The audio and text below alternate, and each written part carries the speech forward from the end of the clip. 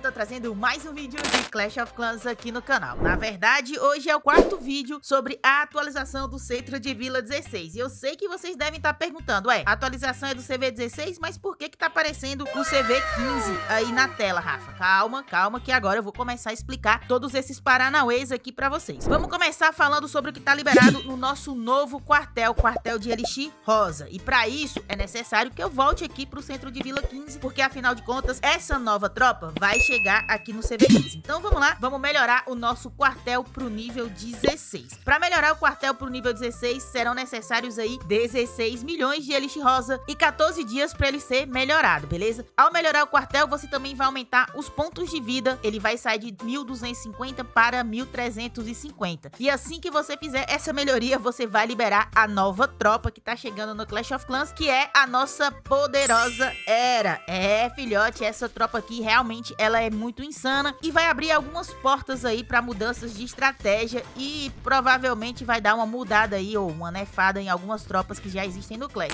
E já aproveitando a deixa, se você for comprar qualquer coisa aqui na loja dos jogos da Supercell, vale para qualquer jogo, você pode utilizar o meu código RAFACOC tudo junto, porque isso vai ajudar demais aqui o nosso canal. Mas vamos lá, vamos dar continuidade aqui ao nosso quartel. Aqui no CV15 tem uma diferença, tá? Você vai poder upar dois níveis da poderosa era. Então eu vou explicar isso aqui para vocês no decorrer do vídeo. No seu primeiro nível, a poderosa era tem 7.200 pontos de vida, 210 dano por segundo. Ela vai ter aí 3 minutos e 40 segundos para treinar. Tipo de dano, alvo único, alvos terrestres, alvo preferencial, defesas, espaço de habitação 20. Velocidade 12 segundos. E para você upar para o nível 2, serão necessários aí 19 milhões de Elixir Rosa, 12 dias para ficar melhorado. Então vamos dar aquela upada aqui. Lembrando que eu tô no aplicativo de desenvolvedor, por isso que eu tô utilizando gemas aqui para fazer as melhorias das defesas e todos os vídeos que eu tô gravando aqui sobre essa atualização, beleza? No nível 2 ela vai ganhar aí mais 400 pontos de vida, então saindo de 7.200 para 7.600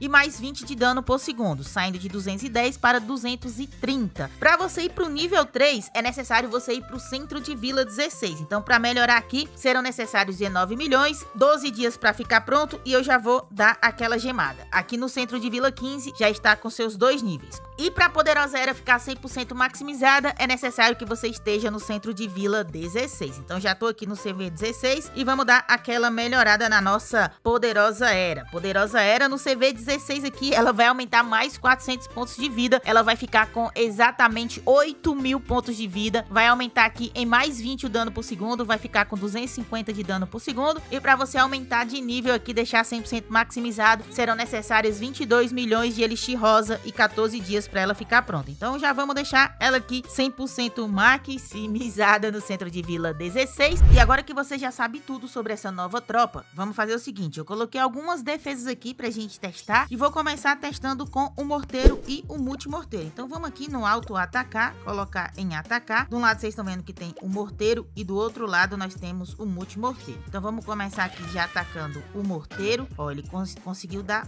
uma leve, leve tecada na tropa e ela já tá chegando lá para rebater o morteiro. Agora ele não tem mais dano, ela já tá no ponto cego do morteiro e ela vai conseguir aqui destruir com muita, muita facilidade o morteiro e com bastante facilidade o muro aqui, ó.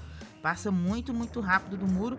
O multimorteiro não chegou nem a dar dano, ó. Agora que ele vai dar um dano também, um dano muito pouco, muito pouco mesmo. E tá aí, ela conseguiu destruir o multimorteiro e o morteiro muito rápido. Vamos testar agora com outra defesa. Agora que a gente já testou com o multimorteiro, vamos testar com o canhão, tá? Vou colocar ela aqui fora do alcance. Vamos ver que ela chegando no canhão. É um pouco lenta, tá? Tipo um golem se arrastando aqui. Mas, ó, quebra o muro com grande facilidade. Tomou bastante dano aqui do canhão, até razoável. Mas, ó, Olha aí, ó. Quatro hits e ela já destrói o canhão totalmente maximizado aqui do centro de Vila 15. Então tá muito, muito forte, muito apelona. Ela já vai quebrar o muro aqui novamente. Vamos ver o multicanhão. Ó, multicanhão deu mais, mais hits aqui nela. Um hit, dois hits, três hits, quatro hits aqui, ó. Cinco hits, ela destrói o multicanhão. Vamos testar agora com outra defesa. Vamos testar agora com a X-Besta. Vamos ver como é que fica ela atacando a X-Besta. Se a X-Besta vai conseguir causar muito dano. X-Besta maximizada aqui pro centro de vila 16, ó. E ela até tomou bastante dano da besta.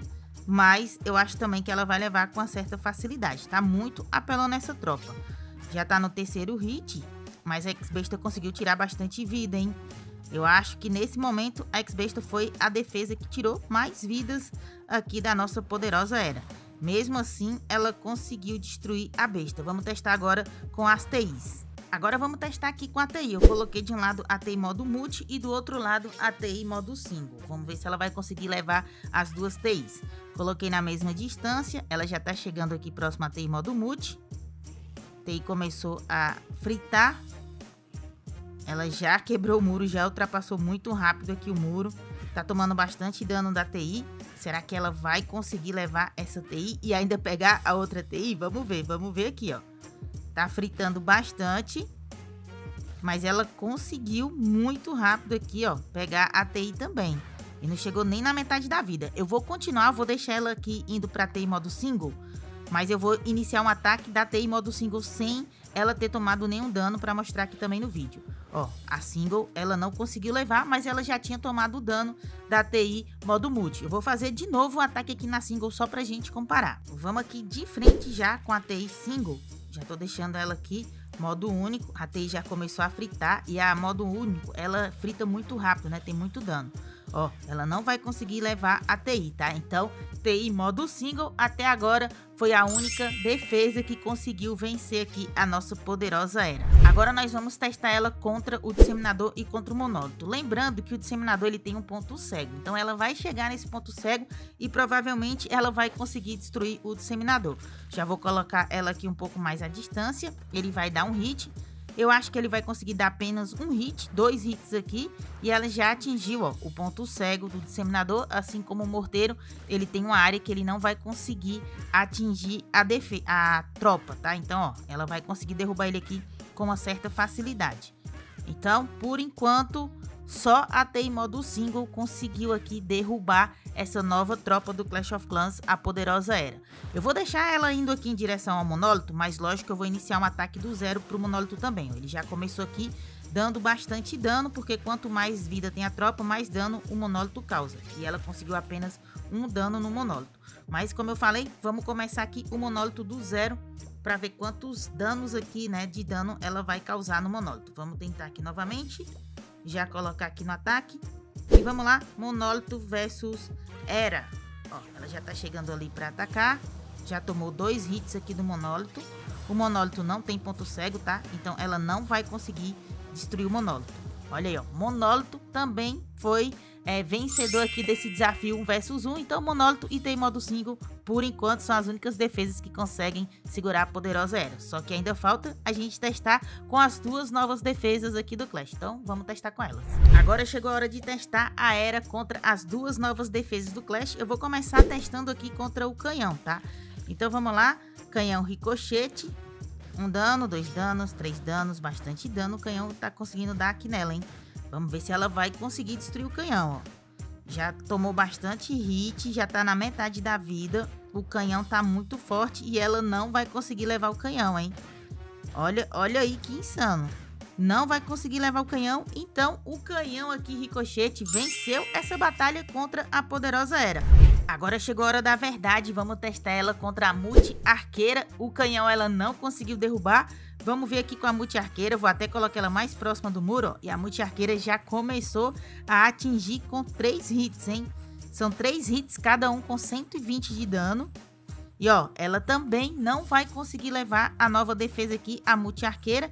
Então são apenas 4 defesas aí até o momento que ela consegue, que ela não consegue derrubar, né? Foi no fino, no fino, quase conseguiu. Ficou faltando pouquíssima vida aqui da torre arqueira, da multi arqueira, mas ela não conseguiu derrubar. Então, essas são as defesas que até o momento ela não conseguiu levar aqui do Clash of Clans, que são as duas defesas novas, o canhão ricochete e aqui a torre multi arqueira também ela não conseguiu destruir o monólito nem a TI modo single. Então essas quatro defesas aqui conseguiram nerfar a nossa poderosa era. Esse é o nosso vídeo de hoje, espero que vocês tenham gostado. Então se você chegou aqui no canal e ainda não é inscrito, já aproveita e se inscreve, ativa os sininhos, me acompanha nas redes sociais e deixa aqui nos comentários o que você tá achando das novidades do Centro de Vila 16. Tô indo nessa, falou, valeu, a nós, fui, tchau, até o próximo vídeo. Tchau, tchau, fui.